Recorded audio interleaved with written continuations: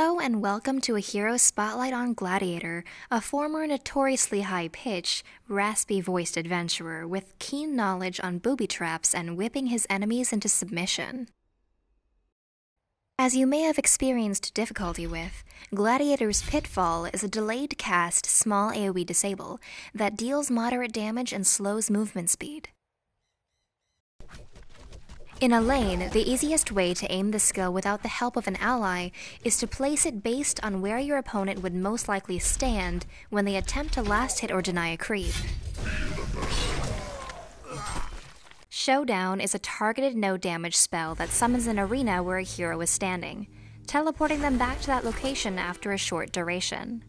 The skill has no range limit once casted and can only be avoided by spell immunity.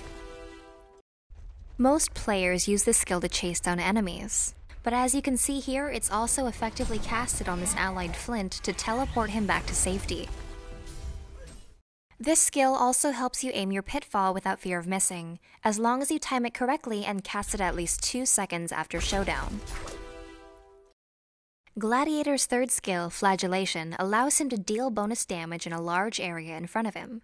As long as the skill isn't on cooldown, it will activate upon attacking and deal his attack damage plus a bonus up to once every 4 seconds at max.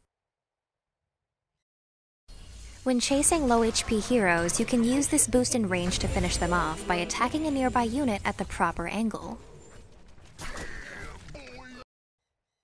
An interesting thing to note that may make denying in a lane much easier is that when this skill is ready for use, you will gain the bonus attack damage for all of your denies without setting off the cooldown.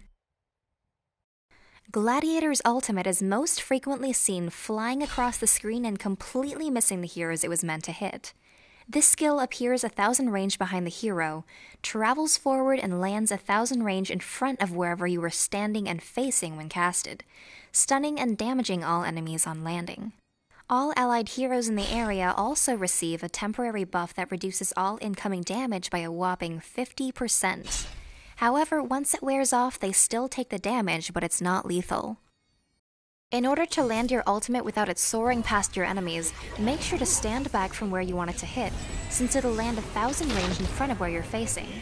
This skill can be used effectively to counter-initiate and turn the tide of a team battle in your favor.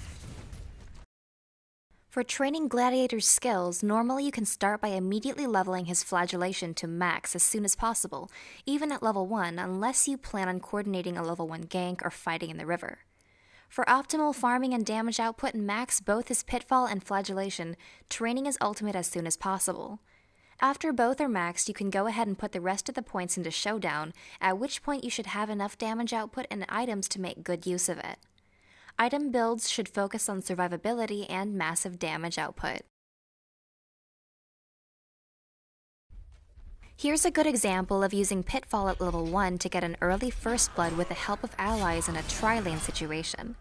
But if you're soloing or in a more defensive lane, Flagellation will prove useful for getting early last hits and immediately putting harassing pressure on opposing heroes. An interesting way to get the jump on the enemy team is to use Showdown on yourself or an ally and quickly run or windwalk in to deal damage, then get a free teleport back to safety. This is especially effective if they waste stuns or important skills on you in the process.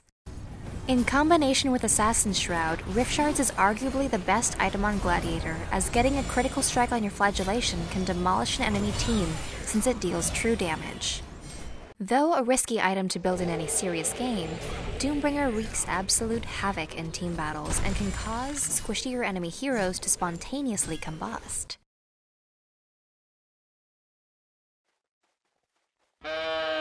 I'm a